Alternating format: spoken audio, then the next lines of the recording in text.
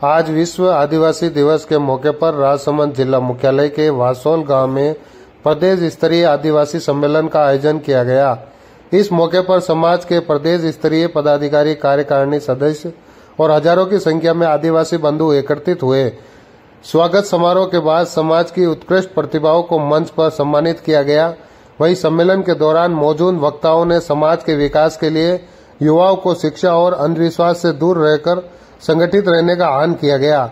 यहाँ मौजूद वक्ताओं ने कहा कि आज के समय समाज के लिए चुनौती भरा है, लेकिन ज़रूरी है कि उनके लिए युवा सबसे पहले नई पीढ़ी को शिक्षा और तकनीकी शिक्षा के निपुण करे, ताकि वे समाज के साथ रहकर कंधे से कंधा मिलाकर आगे बढ़ सके।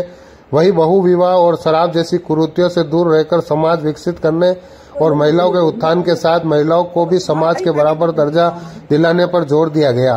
इस मौके पर मेवाड़ संभाग के अलग अलग गाँवों में तहसील से युवाओं की टोली बाइक रैली के रूप में नारेबाजी करते हुए समारोह स्थल पर पहुँची। एक दिवसीय इस सम्मेलन के बाद सामूहिक स्नेह भोज का आयोजन भी किया गया।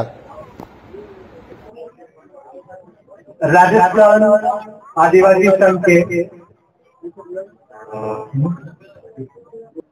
कांतिलाल जी मैया जो कि छात्र नेता है एमएलए से उन्हीं के साथ है संजय सिंह नामा जो भी छात्र रहता है एमएलएसयू पे जो गुजरात